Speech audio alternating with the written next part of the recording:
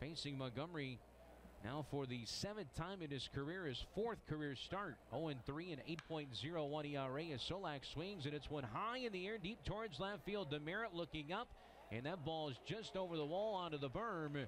In left center field, a solo home run for Nick Solak, number eight on the season. For the former second round pick in 2016 by the Yankees. And it's 1 0 Biscuits here in the first.